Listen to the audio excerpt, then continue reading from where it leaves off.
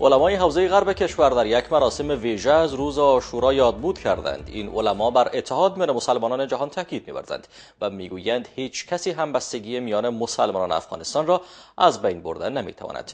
آنان قیام امام حسین را درسی بزرگ برای جهان اسلام می‌خوانند و تاکید دارند که مسلمانان زیر بار ظلم و استبداد هرگز نخواهند رفت. همکارم نصیر احمد صالحی گزارش می‌دهد.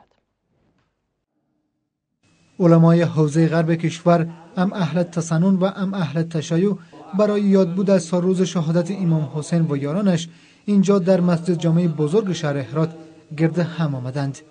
در کنار عالمان دین شماری از های محلی و مردم هرات هم در این مراسم ویژه دینی اشتراک کردند.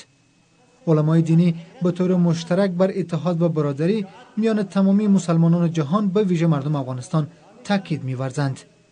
مولوی خداداد سالی رئیس شورای علمای حوزه غرب کشور بر از میان برداشتن اختلافهای مذهبی میان مسلمانان تاکید می‌ورزند و مسلمانان را به وحدت و برادری تشویق می کند.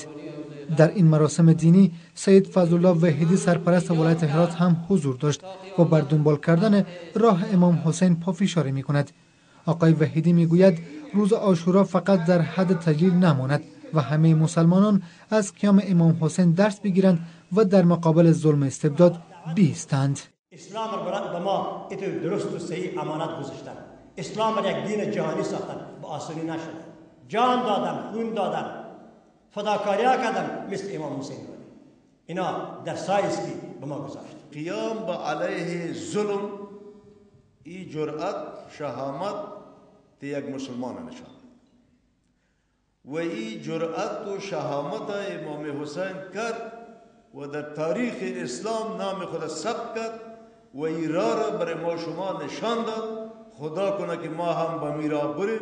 ما زیر بار ظلم و جور و استعمار و استحمار و استبداد و قید و قل برویم بدوره در همین حال شماری از عالمان دین تاکید می‌ورزند که برای از میان برداشتن اختلاف ها میان مسلمانان باید تلاش های جدی صورت بگیرد.